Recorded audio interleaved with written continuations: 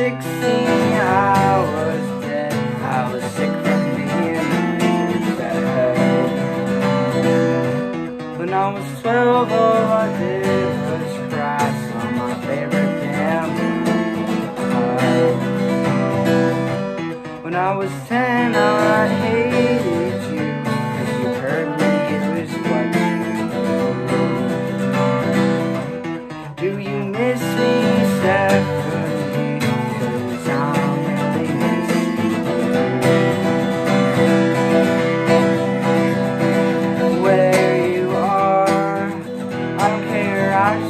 give up.